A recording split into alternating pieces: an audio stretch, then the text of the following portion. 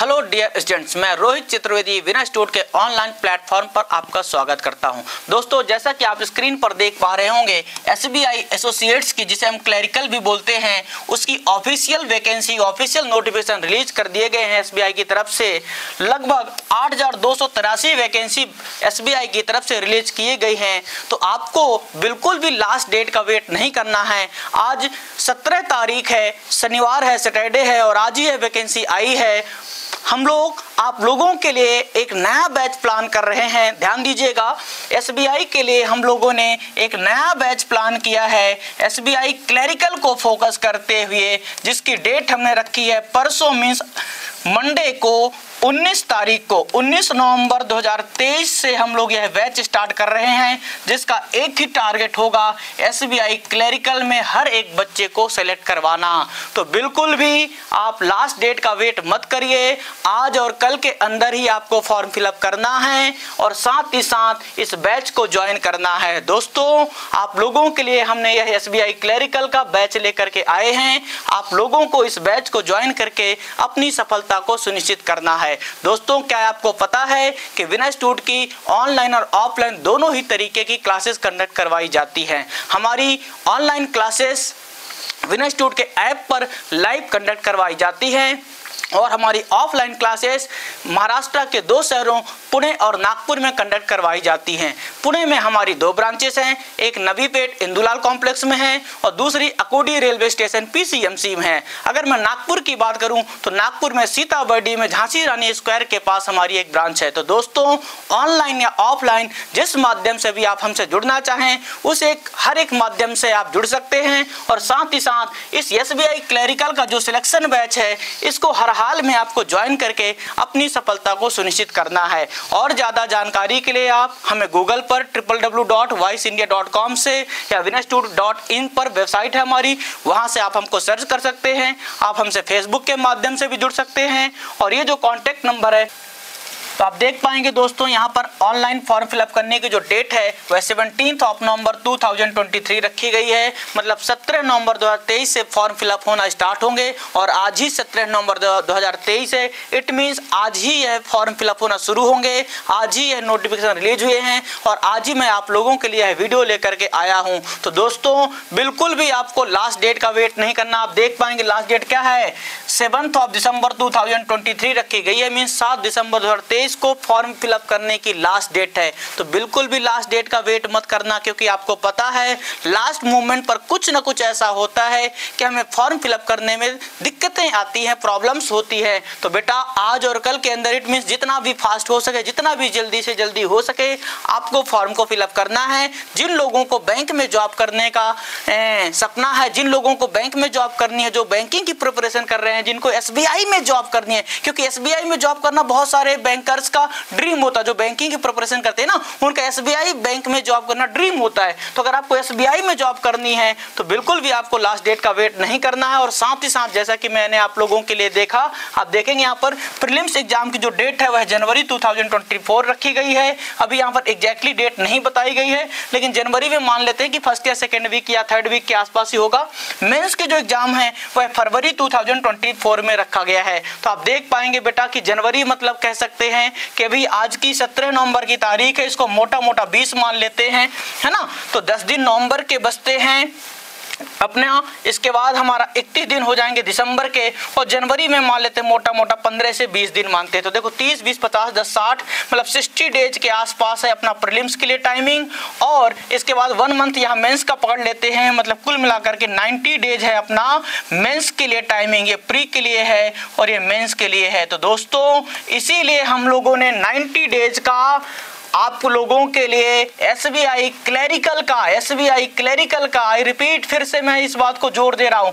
S B I clerical का batch launch किया है, जिसमें हमारा एक ही टारगेट होगा कि हर एक बच्चे को जो इस बैच को ज्वाइन करेंगे एस बी आई क्लैरिकल में सिलेक्शन दिलवाना है, जिसमें हम 90 डेज़ में प्री और मेंस दोनों ही कवर करवाने वाले हैं। तो फुल स्ट्रेटजी आपको जो है, वह क्लास में, पहली क्लास में आपको पूरी बातें आपको सिखाई जाएँगी कि किस वे में प्रिपरेशन करना है, कैसे कैसे प्रिपरेशन करना हर एक बात सिखाई जाएगी। मैं फिर से आप लोगों के लिए डेट बताना चाहूँगा अपकमिंग मंडे क्योंकि आज सैटरडे है, सत्रह नवंबर है अपकमिंग मंडे मीन्स परसों को। मंडे तारीख है हमारी 19 तारीख होगी मंडे को। 19 नवंबर 2023 को यह बैच लॉन्च हो रहा है। 19 नवंबर 2023 को यह एसबीआई क्लरिकल का बैच लॉन्च हो रहा है। तो बिल्कुल भी आपको देर नहीं करनी है।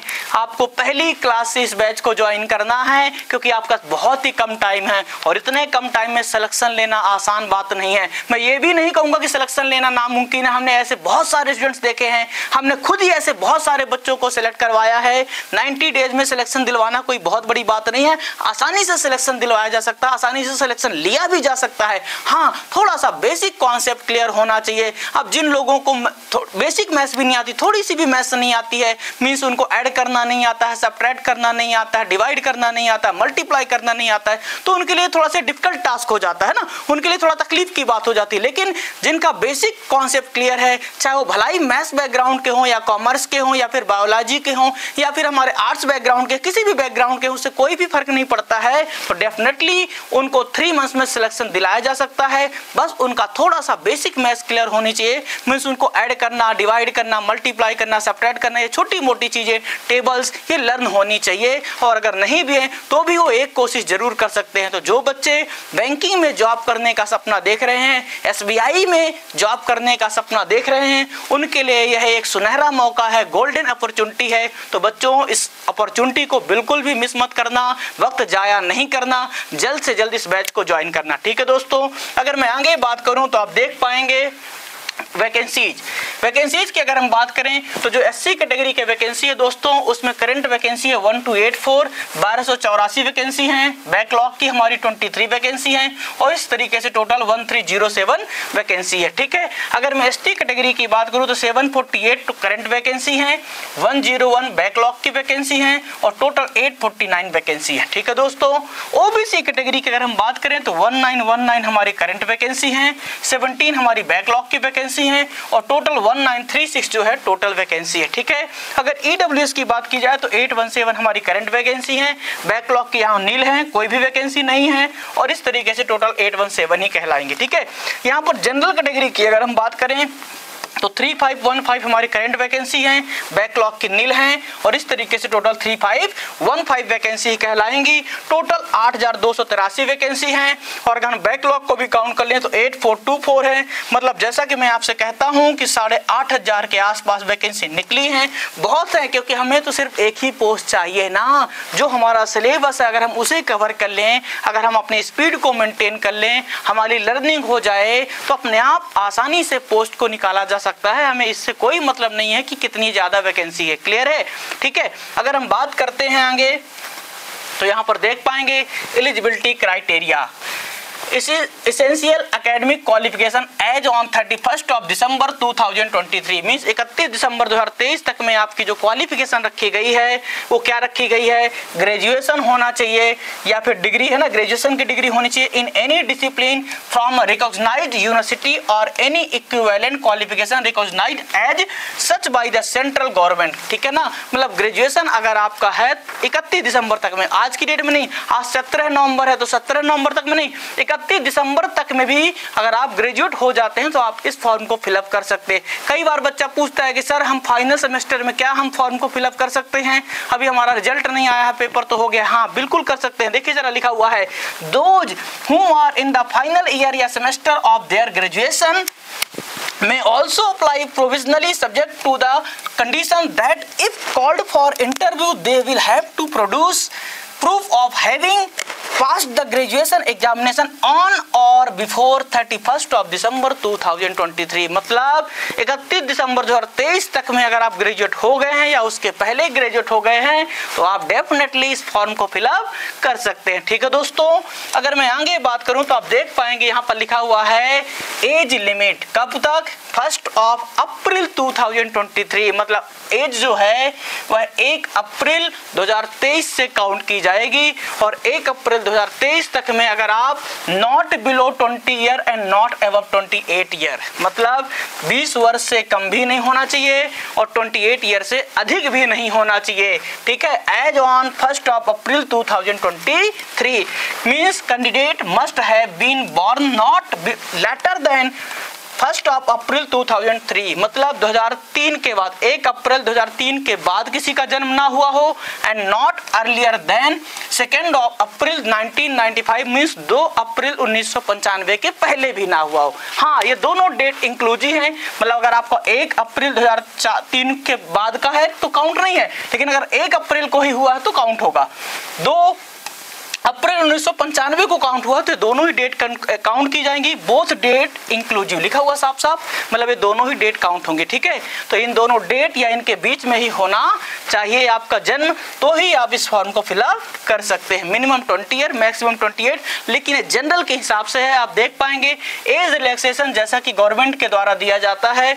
तो ओबीसी कैंडिडेट जो है हमारे, जिनको नॉन क्रिमिनल ईयर के तहत आते हैं, उनको थ्री ईयर का एज रिलैक्सेशन है। आप सबको पता ही होगा, जो लोग इस कैटेगरी में आते हैं। जो हमारे एससी और एसटी कैटेगरी के स्टूडेंट्स हैं, उन लोगों के लिए फाइव ईयर का एज रिलैक्सेशन है। जो हमारी, है ना विडोज हैं या फिर डिवोर्स वुमेन है एंड वुमेन है ना, जो जुडिशियली क्या है सेपरेटेड फ्रॉम देयर हस्बैंड्स हैं and who are not remarried उनकी फिर से शादी नहीं हुई है, उनको सेवन ईयर का एज रिलैक्सेशन दिया जाएगा। नेक्स्ट अगर हम बात करें तो person with benchmark disability means जो पीडब्ल्यूडी कैंडिडेट हैं, जिसमें एस सी कैटेगरी के कैंडिडेट्स हैं, उनको फिफ्टीन ईयर का एज रिलैक्सेशन दिया जाएगा। Person with benchmark disability means P candidate जो ओबीसी कैटेगरी के हैं, उनको थर्टीन ईयर का एज रिलैक्सेशन दिया जाएगा और जो person with benchmark disability mean PW candidate जो जनरल और ईडब्ल्यू में आते हैं, उनको टेन ईयर का एज रिलैक्सेशन दिया जाएगा। तो दोस्तों, जो लोग भी इस कैटेगरी में आते हैं, वो लोग इस बात को ध्यान में रखेंगे। उनके पास एज रिलैक्सेशन भी है। और अब हम बात करते हैं मेन जो हमारा मुद्दा है एग्ज़ाम पैटर्न तो आप सबको ही पता है, इसमें प्रिलिम्स का एग्ज़ाम होगा देन मेंस होने वाला है। तो प्रिलिम्स में क्या होने वाला है? इंग्लिश होगा पहला सब्जेक्ट है ना? मतलब टोटल तीन सब्जेक्ट होंगे प्रीलिम्स में आपके इंग्लिश क्वांटिटेटिव एप्टीट्यूड और रीजनिंग एबिलिटी ठीक है? तो इंग्लिश के थर्टी क्वेश्चन होंगे थर्टी मार्क्स के रहेंगे सेक्शनल टाइमिंग रहेगी ट्वेंटी मिनट की। क्वांट के हमारे थर्टी फाइव क्वेश्चन होंगे थर्टी फाइव टोटल ही मार्क्स रहेंगे मतलब वन क्वेश्चन वन मार्क्स का रहेगा। ट्वेंटी मिनट की सेक्शनल टाइमिंग रहेगी और रीजनिंग के लिए thirty five question thirty five marks और ट्वेंटी मिनट की सेक्शनल टाइमिंग है। मीन्स मैथ्स और रीजनिंग हमारी क्या है? Thirty five thirty five marks की रहेगी thirty five thirty five question में रहेंगे और हमारे इंग्लिश में थर्टी क्वेश्चन थर्टी मार्क्स के रहेंगे। सभी के लिए ट्वेंटी मिनट की सेक्शनल टाइमिंग है। इस तरीके से हंड्रेड क्वेश्चन हंड्रेड मार्क्स और वन आवर्स का टोटल पेपर होगा। यह कैसा है, उन लोगों के हिसाब से है, जो लोग डिसेबिलिटी में नहीं आते। डिसेबिलिटी वाले लोगों के लिए एक घंटे में 20 मिनट का एक्स्ट्रा टाइमिंग दिया जाता है वो आपको पता ही होगा, ठीक है ना?